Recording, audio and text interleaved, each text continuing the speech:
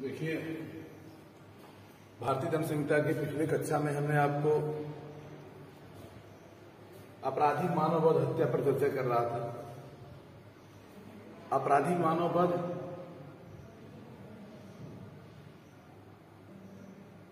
कब कोई हत्या आपराधिक मानववध हो जाएगा? और हत्या आपराधिक मानववध इन दोनों चीज़ों में जो मूलभूत अंतर है, इसकी चर्चा हम कर रहे हैं। जैसा कि आपराधिक मानववध के लिए जो पाँच हत्या के जो पाँच अपवाद बताए गए हैं, कब कोई हत्या आपराधिक मानववध होगी इसको हमने पिछले कक्षा में आपको बताया था कब कोई हत्या आपराधिक मानववध होगी। पहला था कि आपराधिक मानववध कब हत्या नहीं है। मतलब कब कोई हत्या आपराधिक मानववध होती है। आपराधिक मानववध और हत्या में जैसा कि मुख्य रूप से जो अंतर है, आपराधिक मानववध में व्यक्ति का हत्या करने का जो इरादा है मृत्यु कारित करने का जो इरादा है, वह उस उन परिस्थितियों में मुख्य रूप से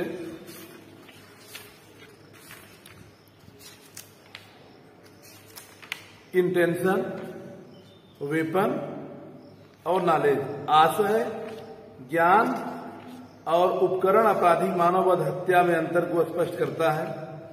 जैसा कि आपको हम पिछले कक्षा में भी ये बात बताए थे। कहाँ नहीं समझ में आ रहा है। हाँ देखिए। पहला है आपराधिक मानववध अर्थात हत्या कब आपराधिक मानववध है? जब वह अपराधी उस समय गंभीर और अचानक प्रकोपन के नाते, गंभीर और अचानक प्रकोपन के नाते आत्म संयम की शक्ति से वंचित हो गया हूँ। ऐसे कंडीशन में। तो वह आपराधिक मानववध क्या हो जाएगा?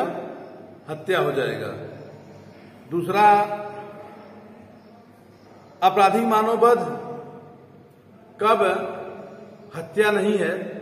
अर्थात ऐसे कह सकते हैं कि सभी हत्याएँ आपराधिक मानववध होती हैं, परंतु सभी आपराधिक मानववध हत्या नहीं होती है। ध्यान दीजिए। प्रश्न आपका ऐसे भी बन सकता है कि प्रत्येक हत्या आपराधिक मानववध है, लेकिन प्रत्येक आपराधिक मानववध हत्या नहीं है। पहला दृष्टांत, पहला इसका अपवाद है। आपराधिक मानववध क्या है? आपराधिक मानववध तात्पर्य जो कोई व्यक्ति किसी व्यक्ति की मृत्यु कारित करने के आशय से या ऐसी शारीरिक क्षति कारित करने के आशय से, जिससे मृत्यु कारित होना संभव है, कोई कार्य करके मृत्यु कारित करता है तो आपराधिक मानववध का दोषी होता है। अब यहाँ पर जो पहला दृष्टांत है, और जो हत्या के लिए है, हत्या का जो, हत्या का जो दृष्टांत बताया गया है कि आपवादिक दशाओं को छोड़कर प्रत्येक आपराधिक मानववध हत्या है। प्रत्येक आपराधिक मानववध हत्या है। यदि वह कार्य जिसके द्वारा मृत्यु कारित की गई हो मृत्यु कारित करने के आशय से किया गया। Intention intention must be murder and culpable homicide आपराधिक मानव बल और हत्या में आशय महत्वपूर्ण होता है इंटेंशन महत्वपूर्ण है। यहाँ पर आप देखते हैं कि जो पहला दृष्टांत है, ये कहता है कि यदि वह कार्य जिससे मृत्यु कारित की गई हो मृत्यु कारित करने के आशय से किया गया हो। जैसे इसमें आपको मिलेगा कि यह को मार डालने के आशय से क्या उस पर गोली चलाता है? परिणाम स्वरूप वो मर जाता है और वह ए को मार डालने के आशय से बी गोली चलाता है। और उस गोली चलने के परिणाम स्वरूप गोली चलने के परिणाम स्वरूप बी मर जाता है। तो ए यहाँ हत्या का दोषी होगा, आपराधिक मानव का दोषी नहीं होगा। क्यों? कि उसको इस बात का पता है, इसका आशय फिक्स है कि गोली लगने से किसी व्यक्ति की मृत्यु हो सकती है। गोली लगने से मृत्यु होना संभव है, मृत्यु हो जाएगी। गोली लगी तो निश्चित है मृत्यु होगी। और ये सामान्य परिकल्पना है गोली लगने से किसी भी व्यक्ति की मृत्यु हो सकती है। तो वह आपराधिक मानवबद्ध न होकर हत्या होगा। दूसरा दृष्टांत हम देखते हैं, हत्या का। यदि वह कार्य ऐसी शारीरिक क्षतकारी करने का आशेष किया गया हो, जो किया गया हो, जिसे अपराधी जानता है कि वह उस कार से मृत्यु कारित होना संभव है, जिसको वह अपहान कार्य कर रहा है तो वह हत्या होगा। हत्या कब होगा? कोई कार तब हत्या होगा जब वह कार्य करने वाला व्यक्ति किसी व्यक्ति की शारीरिक क्षत कार्य करने का आशेष कर रहा है, शारीरिक क्षत कार्य करते समय वह इस बात को जानता है कि इससे मृत्यु कारित होना संभव है, मृत्यु हो सकती है। तो वह अगर ऐसा कार्य करके मृत्यु कारित करता है, जिससे संभव है अधिसंभाव्यता है कि मृत्यु कारित हो जाएगी तो वह आपराधिक मानव वध के लिए दोषी नहीं होगा, बल्कि हत्या के लिए दोषी होगा। ध्यान दीजिए, आपराधिक मानव वध के लिए दोषी नहीं होगा, हत्या के लिए कब? जब वह व्यक्ति ऐसी शारीरिक क्षत कायद कर रहा है, जिससे मृत्यु कारित होना संभव है। अब आप ऐसे ध्यान दीजिए फाइट हो रही, लड़ाई झगड़ा हो रहा है लड़ाई झगड़े में कोई व्यक्ति लोहे के राड से या ब्लांट इंजरी अब देखिए, शार्प इंजरी होता है ब्लांट इंजरी है। ब्लांट इंजरी से, मोटे घाव से किसी व्यक्ति के शरीर के मर्म पार्ट पर, जैसे शरीर के पेट में या सर पर, ऐसा प्रहार करता है कि जिससे मृत्यु होने की संभावना प्रबल है। यदि उसका आशय उसको मृत्युकारित करने का न होता तो पैर मार सकता था, हाथ मार सकता था, पीठ में मार सकता था। हाथ पैर में मारने से व्यक्ति की मृत्यु होने की संभावना कम होगी। लेकिन सर पर अगर प्रहार किया जाए तो किसी भी व्यक्ति की मृत्यु की संभावना अधिक होगी। यहाँ पर क्या है? उसका आशय है। ऐसी शारीरिक क्षत कारित करके जिससे मृत्यु कारित होना संभव है, वह कार्य करके मृत्यु कर रहा है, वहाँ पर जो है मतलब ऐसा ध्यान दीजिए, उसका आशय क्या है? मृत्यु मतलब इंजरी कारित करके मृत्यु करना। इंजरी कारित करके मृत्यु कारित करने से तात्पर्य है कि वहाँ पर, अब अब हम आप बताते हैं, जैसे, ध्यान दीजिए, इसका दृष्टांत है, कि मतलब ए, यह जानता है कि बी, एक रोग से ग्रस्त है। ए नामक व्यक्ति ए नामक व्यक्ति जानता है कि बी जो है रोग से ग्रस्त है।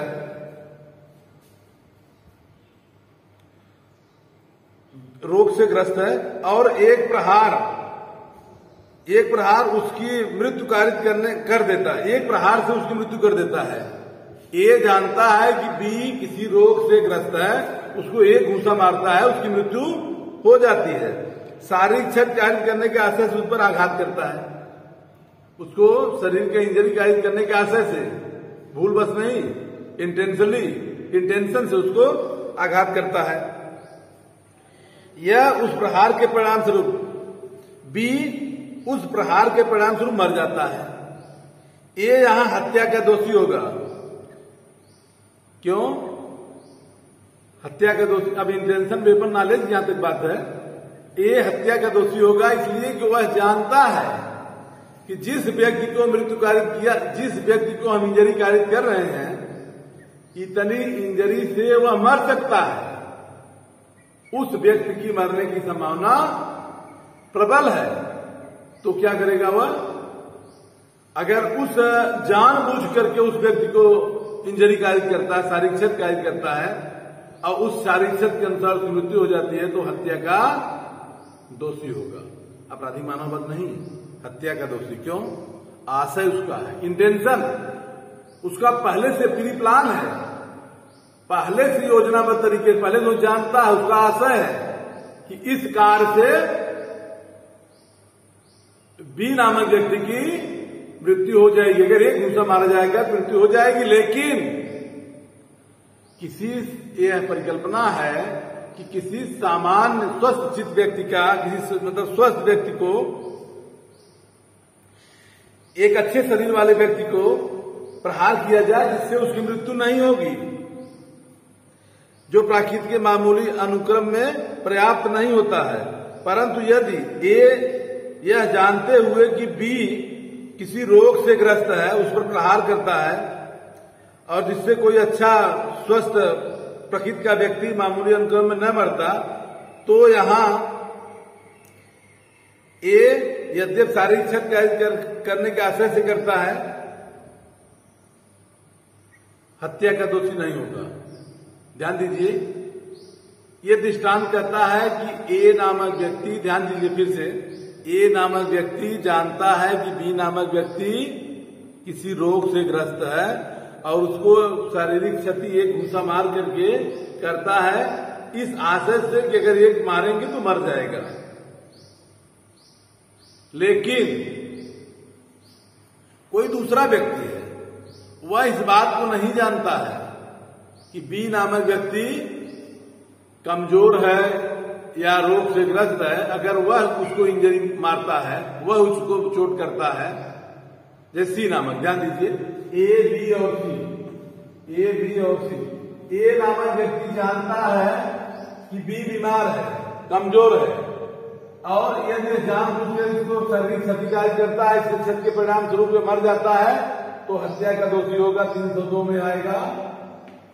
और सी नामक व्यक्ति नहीं जानता है कि यह है रोग से ग्रस्त है। एक घूसा उसको मारता है जो प्रकृति के मामूली अनुक्रम में सामान्य अनुक्रम में किसी की मृत्यु होने के लिए पर्याप्त नहीं है। अगर इस, प्रहार से सी के प्रहार से भी मरता है तो यहाँ आपराधिक मानव वध के लिए दोषी होगा हत्या के लिए नहीं होगा। ए हत्या के लिए दोषी होगा और बी आपराधिक मानव वध के लिए दोषी होगा। इसलिए कि आशय इसका ए का आशय सी के आशय से भिन्न है। ए जानता है कि इस इंजरी से बी की मृत्यु हो जाएगी और सी नहीं जानता है कि इस इंजरी से बी की मृत्यु होगी। यहाँ पर आशय, उस व्यक्ति का आशय है, आशय के अनुसार वह आपराधिक मानव, आशय के अनुसार ए आपराधिक मानव पद का दोषी होगा और सी, सॉरी, आशय के अनुसार ए हत्या का दोषी होगा बी को मारने में और सी जो है आपराधिक मानव वध के लिए दोषी हत्या आपराधिक मानव वध में इंटेंशन मस्ट बी इंटेंशन आपराधिक मानव वध हत्या में आशय ही महत्वपूर्ण है। ठीक ना? तीसरा दृष्टांत देखते हैं हम। यदि वह व्यक्ति किसी शारीरिक क्षतकारी वह व्यक्ति किसी व्यक्ति को शारीरिक क्षति करने के आशय से किया गया हो और वह शारीरिक क्षति जिससे कारित किया गया हो प्रकृति के मामूली अनुक्रम मृत्यु कारित होने के लिए पर्याप्त हो तो वह हत्या का दोषी होगा। जैसे कोई व्यक्ति किसी व्यक्ति को शारीरिक क्षति कारित है और यह अपेक्षा यह आशा किया जाता है मतलब ये संभावना है कि इस शारीरिक क्षति से किसी की मृत्यु हो जाएगी तो हत्या का दोषी होगा। जैसे क, जैसे ए को तलवार या लाठी से आघात पहुँचाने के लिए बी आशय प्रहार करता है। जो प्रकृति के मामूली अनुक्रम में किसी मनुष्य की मृत्यु कारित करने के लिए पर्याप्त है। परिणाम स्वरूप ए की मृत्यु कारित कर देता है। यहाँ पर बी हत्या का दोषी होगा, क्योंकि उसका आशय ए की मृत्यु कारित करने का था। मर्डर का तीसरा दृष्टांत कहता है, हत्या का तीसरा दृष्टांत कहता है कि कोई व्यक्ति किसी व्यक्ति को शारीरिक क्षति कारित करता है और शारीरिक क्षति इस आशय से करता है कि प्रकृति के सामान अनुक्रम में अपेक्षा किया जाएगा कि मृत्यु हो जाएगी तो हत्या का दोषी होगा। अब तलवार से या तेज धार से किसी के ऊपर हमला किया जाए तो मृत्यु तो होना तय है। अगर तलवार की घाव गड़ासी की घाव, कुल्हाड़ी की घाव से किसी पर प्रहार किया जाएगा तो वहाँ मरना तय है। जो विक्टिम होगा, जो पीड़ित होगा, जो पीड़िता होगा, उसको इंजरी लगेगी तो इंजरी से मर सकता है। और जो व्यक्ति शारीरिक क्षति कारित करता है, लेकिन इस आशय से करता है मृत्यु हो जाएगी। अर्थात ये ये जानता है ये जानबूझकर बी के ऊपर तलवार से वार करता है। और ये समाज परिकल्पना है कि तलवार से, कुल्हाड़ी से, या तेज धार से शार्प इंजरी से किसी का, किसी को इंजरी कायद किया जाएगा तो मृत्यु होने की संभावना प्रबल है। तो वह हत्या का दोषी होगा, अपराधी मानववध का नहीं। अपराधी मानववध में देखिए क्या लिखा है। जो कोई व्यक्ति, किसी व्यक्ति मृत्यु करने के आशय से या या ऐसी शारीरिक क्षत कैद करने का आशय जिससे मृत्यु होना संभव है कोई कार्य का मृत्यु कैद करता है। अपराधी मानववध दोषी होगा। लेकिन 300 में लिखा है कि प्रकृति के मामूली अनुक्रम में ऐसी शारीरिक क्षत कैद करता है जिससे अपेक्षा किया जाएगा कि उस, उस इंजरी से किसी भी व्यक्ति मृत्यु हो सकती है। अगर तलवार से किसी को भोंक रहे हैं तो मरने की संभावना प्रबल है। वहाँ हत्या होगा अपराधी मानवबद्ध नहीं होगा। चौथा दृष्टांत इसका है इसका चौथा दृष्टांत है, यदि कार्य करने वाला व्यक्ति यह जानता हो कि वह कार इतना खतरनाक है, यदि कोई कार्य करने वाला व्यक्ति यह जानता हो कि वह कार्य इतना खतरनाक है कि पूरी अधिसंभावता है कि वह मृत्यु कारित कर देगा। ऐसी शारीरिक क्षत कारित करता है कि जिससे मृत्यु होना संभव है। वह मृत्यु कारित करके, क्षति कारित करने का जोखिम उठाने के लिए किसी पूर्व हेतु के बिना करता है, तब भी हत्या का दोषी होगा। इसका स्पष्टीकरण क्या होगा? इसका स्पष्टीकरण देखिए, एक किसी प्रतिभेद के बिना किसी एक समूह पर भरी हुई पिस्तौल तोप गोली चलाता है। और यहाँ किसी अन्य व्यक्ति की हत्या हो जाती है तो वह मृत्यु कार्य करता है और पूर्व चिंतन के बिना फिर भी हत्या का दोषी होगा। वह इस बात को जानता है कि गोली चलेगी तो चलेगा तो मरना तय है। भले उसका आशय न रहा हो। पूर्व चिंतन न रहा हो। लेकिन उसका आशय नॉलेज है कि गोली चलेगी, गोली चलाएँगे, तोप चलाएँगे तो मृत्यु होना संभव है, जिसको लगेगा तो हत्या का दोषी होगा। ठीक? इस तरह से हत्या अपराधी मानवबद्ध में अंतर को चारों चीज़ों को आप स्पष्ट कर लीजिए। अब अब यहाँ एक चीज़ और है कब कोई हत्या अपराधी मानवबद्ध होता है, पहला है अचानक प्रकोपन में किया गया हो। दूसरा प्राइवेट प्रतिष्ठा के अधिकार में किया गया हो, हमने कल भी इसको बताया था। प्राइवेट सेल्फ डिफेंस में सेक्शन सौ आईपीसी का जो है सेक्शन सौ के अंतर्गत अगर प्राइवेट परीक्षा का अधिकार प्रयोग में किया गया हो तो वह आपराधिक मानवबद्ध होगा, हत्या नहीं होगा, जिसमें सात दृष्टांत सात इसके खंड बताए गए उन्हीं खंडों में ज़िक्र आता है कि किसी व्यक्ति कारित करता है, ऐसी परिस्थितियों में जो भारतीय दंड संहिता की धारा सौ के में उपबंधित प्रावधान के अंतर्गत आता है तो वह आपराधिक मानवबद्ध होगा, हत्या नहीं होगा। इसके बाद लोक सेवक कोई लोक सेवक है, अपने पति कर्तव्य का निर्वहन कर रहा है। पति कर्तव्य के निर्वहन में अपने अपने लाइबिलिटी के अंतर्गत, अपने दायित्व के अंतर्गत होते हुए अगर वह कार्य करता है, जिससे मृत्यु कारित हो जाती है तो आपराधिक मानवबद्ध का दोषी होगा। ध्यान दीजिए।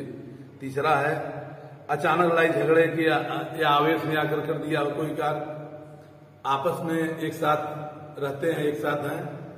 कोई ऐसी बात होती है जो अचानक लड़ाई झगड़े के परिणाम होती है। उस अचानक लड़ाई झगड़े के परिणाम स्वरूप ऐसा करते हैं तो अपराधी मानव बद के लिए दोषी होंगे हत्या के लिए नहीं होंगे। ये चौथा दृष्टांत है। पांचवा है कि कब कोई आपराधिक मानव बध कब कोई हत्या आपराधिक मानव बध नहीं होगा तब जब कोई मृत्यु कार्य मृत्यु को सहन करने के लिए, किसी मृत्यु को सहन करने के लिए, आत्महत्या के लिए, या तो 18 वर्ष जिनकी अधिक उम्र है, जोखिम उठाने के लिए दोनों सहमत होते हैं, सहमत के परिणाम स्वरूप करते हैं तो वहाँ पर एक व्यक्ति, जिसे मान लीजिए दशरथ पासवान केस हमने बताया था कि दशरथ पासवान, वह परीक्षा बार बार फेल हो रहा था, अपनी पत्नी के साथ एक सहमति बनाता है कि हम दोनों लोग जहर पी के मर जाएँ, पत्नी पी लेती है और पासवान नहीं पीता है, बच जाता है, न्यायालय मुकदमा चलता है, इसकी हत्या के लिए इसका ट्रायल चलता है कि हत्या नहीं है, आपराधिक मानवबद्ध होगा ये मर्डर नहीं है, कल्पेबुल होमसाइड होगा। 302 नहीं 304 में इसको दोषी माना गया क्यों? कि इसका कार्य जो है, इन अपवादों के भारतीय दंड संहिता की धारा 300 में जो अपवाद पाँच भारतीय दंड संहिता इंडियन पेनल कोड जिसको कहते हैं, भारतीय दंड संहिता की धारा 300 के जो पाँच खंड बताए गए उन पाँच खंडों में आने के नाते यह हत्या आपराधिक मानवबद्ध होगा, हत्या नहीं होगा। तो इस तरह से अब आप क्लियर कर लीजिए अगले दिन आपको बताया जाएगा। बहुत बहुत धन्यवाद।